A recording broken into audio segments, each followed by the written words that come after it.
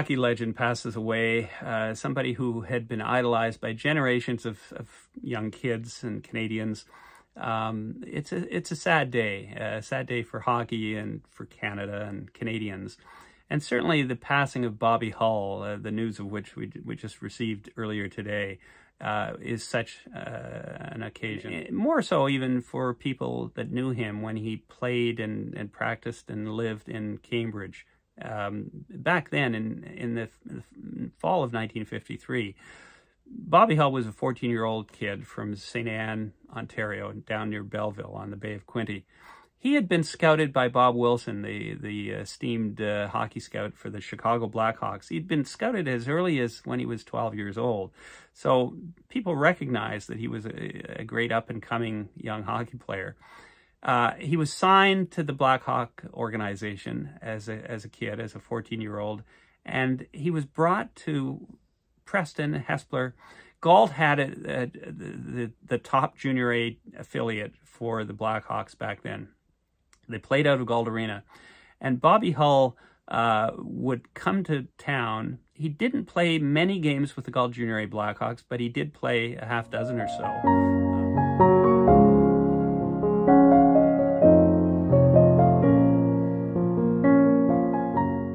Most of his games, though, were played at the old Preston or at the old Hespeler uh, arena, which is now gone. And uh, he stayed at a, uh, they say he was billeted at a boarding house in Preston. Well, the boarding house was really uh, the Sulphur Springs Hotel. That was owned by a man named Wiseman, who also happened to own the Junior B Hespeler Hawks. And, and so maybe it made sense uh, from an economic standpoint to put him up at the hotel. But in retrospect, for a 14-year-old kid uh, to, to be billeted at a hotel, a hotel that even in that day and age was regarded a, a bit as a, as a bit of a dive, was not a it was not an appropriate place to to put a 14-year-old kid. And one wonders that stay at the uh, Sulphur Springs Hotel as a 14-year-old had anything to do in, in shaping his formative uh, years uh, and his, his later life. In any case, it's all speculation. But Bobby Hull's tenure in, in Cambridge is interesting on a number of fronts. One being that he had close ties with each of the component communities that now comprise Cambridge. He went to Preston High School, played football at Preston High School, uh, was on the track and field team, was really a, a, an outstanding young, strong uh, athlete at the time. He played uh, most of his games and most of his practices at the, the Hespeler Auditorium. And he had a connection with Galt Arena in that um, he did play several games there. But the bulk of his time was spent in Preston and at, at in Hespeler. The fact that he did attend for a short time Galt Collegiate Institute. And he lived, when he was going to Galt Collegiate, he lived uh, on the next street over from Galt Collegiate on Haddington Street. Collegiate. We don't know exactly how long he was at Galt Collegiate, uh, other than it was a relatively short period of time. Um, he did pull, uh, during a track and field meet at Galt Collegiate, he pulled a hamstring, a severe pull uh, that he didn't tell his coaches about because he was afraid that the, the, the, they'd be very upset. Uh, he he wasn't really supposed to be um, skylarking in other other sports while he was with the the Junior A and, and the Blackhawk organization. So, as a result of that that injury, he played poorly. They sent him down to Woodstock to the Junior B Woodstock team and uh, it was when he went to Woodstock that they ended up winning the All Ontario Junior B title. Uh, so it wasn't a bad thing for him to go to Woodstock, as it turns out. Subsequently, he was off to play with the Junior A team uh, in St. Catharines, uh, which replaced the Galt Junior A Blackhawks at that point. But but his connection, I mean, attending school at GCI, but mostly at Preston High School, living in Preston, living in Galt, playing uh, at the Hespeler Auditorium, he touched all three areas of the uh, of the community, and that's something that a couple other legends who had ties uh, in Galt never did. Bob, uh, Bobby Hull was was alone in that regard with the, his his connection to all three Galt, Preston, and Hespeler. Gordie Howe, when he played uh, in 1944-45 for the Galt Junior A Red Wings, so just a few years before Bobby Hull. uh, Gordie Howe stayed. He was billeted in Galt, and he played at Galt, and he worked at, at Galt. He attended a few classes at Galt Collegiate. He, he subsequently thought he didn't attend any classes.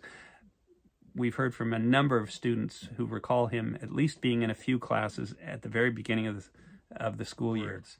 Terry Sawchuk, one of the other greats that had a connection to Cambridge, uh, played with the Galt Junior A Blackhawks after Gordie Howe was here. So they didn't play together. But one of the guys that did play with both of those people was uh, an NHLer, a future NHLer named Marty Pavelich.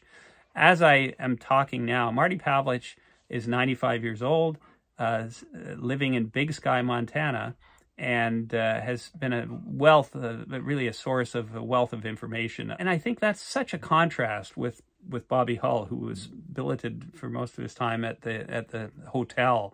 Um, guys like Marty Pavelich, Gordie Howe, uh, Terry Sawchuk, they were all billeted, and and later and uh, Pete Conacher, who who played uh, with the Galt, the Blackhawks for three seasons. Um, they were they were all billeted with loving and caring families. It made them feel like they were at home and that people cared about them. Bobby Hull didn't really have that when he was in town. The other thing I, I should add when I'm we're talking about Bobby Hull is uh, Bobby Hull never really had another. There was another factor in this uh, for kids far from home and living on their own for the first time. There was a, a, a the trainer for the Galt Junior Red Wings and later the Galt Junior A Blackhawks was a man named Toots Last. And Toots Last and his wife Mabel uh, lived just down the, the, the street on Shade Street from Galt Arena. They were surrogate parents. They they they took in these kids who had billets, uh, but the, the kids would spend a lot of time at the last house, and uh, they they'd go there sometimes for dinners. They they were always welcome. They didn't have to knock. Um, and Toots and his wife Mabel looked after them like they were their own kids. And uh, Gordie Howe never forgot that. Um, in fact, that was one of the first people uh, he brought up when at our first meeting, uh, when he learned I was from Cambridge. Um, he talked about Toots Last and uh, what an impact he had had on his life for the year that he spent here. For Marty Pavelich, who was here three years, that was that that impact was uh, multiplied many times. And unfortunately, Bobby Hull never had that. If he had, who knows what a um, kind of a legacy that might have had on his his later life. There's a great story uh, about uh, Bobby Hull, a, a, few great stories, but one of the stories uh, involves um, when Bill Bartels picked Bobby Hull up at the Sulphur Springs Hotel, took him to the practice at Galt Arena, and on the way home, uh, the car in front of him was going a little too slow over the bridge uh, across the Speed River in Preston. And uh, so young Bill Bartels, who was only 15 at the time and driving his mother's 1953 Dodge convertible, beautiful car that she was so proud of. And there was Bill driving it at 15 years old, not old enough to have his license, and when he made that pass uh, on the bridge in Preston, that ill-advised pass, uh, Len Sneath, the police constable from Preston, was waiting for him. Uh, Len, uh, Sneaky Sneath, they called him. He was fame, famed as Sneaky Sneath. He pulled him over and he asked Bill to get out of the car and come back to the squad car. Well, of course, Bill was having a heart attack, uh, 15 years old, driving his mother's convertible. Um, he'd done something wrong and uh, he was going to pay the penalty now. And he was uh, just uh, in mortal fear of Sneaky Sneath. Sneaky Sneath said to him, said, tell me, is that young fella that's in the front seat of your car, is that that young Robert Hull we've been hearing so much about? And Bill says, yes. And he says, well, good. I want to meet him. And there was no ticket he met Bobby Hull, young Bobby Hull, and uh, the you know the infraction was quickly forgotten. It's a famous story, though, that uh, both would tell in subsequent years. Uh, years later, Bobby Hull phones Bill Bartels up. They kept in touch over the years. And uh, Bobby Hull was attending a, uh, a, cattle auction just south of, of Galt uh, on the uh, Gil Henderson farm. And, and there were some, some of the top cattle men and people from that industry from all over the world who were attending this auction. Uh, they were from Montana, from uh, elsewhere in the States, from England, from New Zealand, Australia. And uh, Bobby said, listen, I'm coming to this auction. Would you care to go with me? And it'll give us a chance to catch up and, uh, it, will be fun. So they, they go to the auction and uh, there was uh, this this young um, steer that Bobby Hull was so high on, and advised Bill to buy it as an investment. He said it will pay pay dividends if you buy this this this young bull, and and so he did. And he thought, what on earth am I doing after he bought this? Because he he wasn't a farmer, he wasn't a cattleman, he had no place to house this animal. Uh, he had to he had to find somebody to look after it. Apparently, it did make him some money, and it, it wasn't a bad investment altogether. After all, he would stay after practice that year at Hespeler. He'd stay uh, sometimes for hours with young Bill Bartels. Bill was the goalie. Bobby Hull was taking these slap shots. That's how he, he was honing his slap shot. The slap shot that became famed throughout the hockey world as as the hardest one uh, that anybody possessed. And, and there was a young Bobby Hull honing his craft, practicing, taking shot after shot uh, at Bill Bartels. Yeah, and poor Bill was on the receiving end of, of all these shots. But uh, in any case, that was one of his uh, one of the things that he developed and he worked on when he was here in, in Cambridge. Bobby Hull wrote uh, uh, several books uh, about his career, his hockey career, and he always made mention of the fact that his father and mother would make the trek from Point Anne, Ontario, and Eastern Ontario uh, to Hespeler, no matter where he was playing. They'd come to Hespeler on a regular basis. It's a long trip from there, or to Woodstock, and then later uh, to St. Catharines. He, he, in fact, he said in the span of just a couple years when he was playing with those teams, um, they his parents went through three cars because of all the trips and the, the, extensive driving they had to do. But they were supportive. They had a large family, um, but they were supportive of their son. And uh, and uh, whether they liked him staying at the hotel or not, I I think I heard and might have read that uh, they weren't too keen on that. But Bobby Hull was embarking on an adventure, as as all the young hockey players are. It was an adventure. The adventure of his life uh, had begun. He'd left home, but the world awaited. The NHL. Uh, uh, he had dreams and hopes, uh, and he would do everything he could to try to make it there. But this was the beginning of his journey, and uh, he was going to do everything he could to make a go of it. And he never would return home to live permanently, uh, as was the case with, with many of these hockey players. Um, Gordie Howe, we know, after his year in Galt, uh, went on to Omaha and then was quickly up with the Detroit Red Wings. Um, when we look at these legendary hockey players, um, Gordie Howe was billeted with another Westerner uh, by the name of Terry Kavanagh, who played uh, on the Junior A um, Red Wings with him. And uh, they were billeted at the Sullivans. Mrs. Sullivan, uh, who lived on Charles Street, had lost her husband not long before, and she took in these young hockey players as a way to augment her income and help make ends meet. That was on um, uh, Charles Street, which is just off of Blenheim Road in, in West Galt, not far from Mount View Cemetery, in fact. Terry Sawchuk lived right on Grant Avenue, not far from where the School of Architecture is now, and across the road from Knox, uh, what was Knox uh, Galt Presbyterian Church. She li- he lived with a, at a, a, lady who took in billets, and her name was Masterson. And uh, Pete Conacher lived on McNaughton Street with the Weavers. Uh, Marty Pavelich lived at the corner of uh, Dundas and uh, Grantham Avenue uh, with the Arbuckles. The, the people that I've been able to speak with, Marty Pavelich and um, with Pete Conacher, they couldn't have been happier. they were away from home.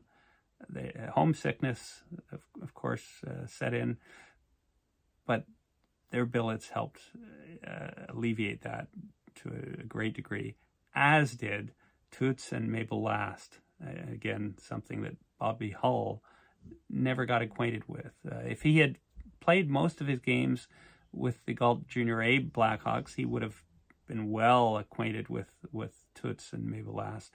As it was, he, only, he had only a passing familiarity with them because most of his time was in Preston and playing in Hespeler. How should we look at at the life of Bobby Hull and his connection locally and in the broader perspective in the annals of of the sport that, that uh, Canada has taken as its own. And um, I think, you know, Bobby Hull was a complex man, uh, but a, a, legend nevertheless in, in hockey circles, and and rightly so. He was well liked and loved by uh, a lot of people, and uh, what he did on the ice is, uh, uh, in many respects, unparalleled. He was hero worshipped by uh, generations of young kids. Our, sometimes our sports heroes, people who are, we revere so so greatly, are not the people that we think they might be in in real life. You know, you look at somebody like Jean Beliveau, who uh, put out a book later in his life, and and Bobby Hull, who had uh, a book uh, published later in his life as well. And they were both on on book tours. The local bookstore in, in Cambridge, uh, the owner shared with me um, the, there was a, quite a contrast between people like Jean Beliveau and and Bobby Hull. Uh, he said the the Jean Beliveau couldn't have been uh, more gentlemanly and couldn't have been nicer to them uh, Bobby Hull was was there to sign books and and in and out, and uh, didn't come across as being all that pleasant an individual with them. There can be many reasons for that. Might have been a bad day. Uh, certainly, he had legions of friends and people that knew him and got along well with him, and uh, um, so he he was certainly personable.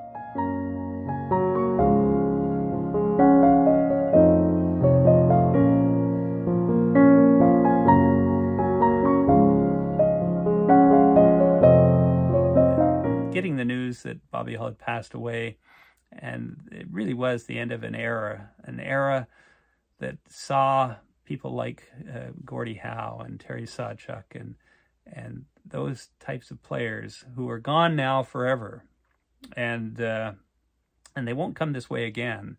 Uh, the fact that Cambridge had a, a hand in in their formative years, uh, I think, is something to be celebrated uh, and certainly to be talked about and, uh, and made known.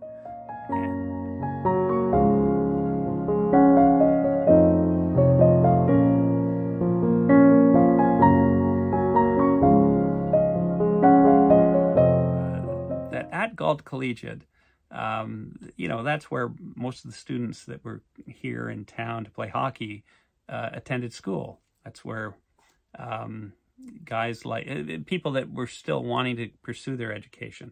So people like Pete Conacher, who was a gifted not only hockey player but but a, a student. He came from Toronto and spent three years uh, playing with the Galt uh, Junior A Blackhawks and attended Galt Collegiate. So of the three giants, the three hockey giants that came to town, Hull, Howe, and Sawchuk, Sawchuk attended class at Galt Collegiate.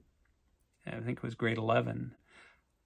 Hull attended class at Galt Collegiate, although it was a, a, short tenure there because most of his time was at Preston High School, but he did attend school at Galt Collegiate. And Gordie Howe, who attended just a few classes before he gave up his education as something that he regretted the rest of his life, and in fact uh, used it as a a learning experience that he gladly shared with young hockey players and young people everywhere about the importance of of getting your education. Interestingly, there was a, a teacher at Galt Collegiate who, in, in later years, would tell the story, and he'd say it to his his new uh, students every September. He'd he'd look in the classroom and say, "Right over there is where Gordie Howe sat, and then over there is where Bobby Hull sat, and and back here that's where Terry Sawchuk sat." And so you can imagine uh, the attention grabbing device that was. All the students uh, who were all hockey fans, it seemed, would would just be amazed and in awe that that those three players had preceded them and they were all not only had they attended class there but they were in that very room where they were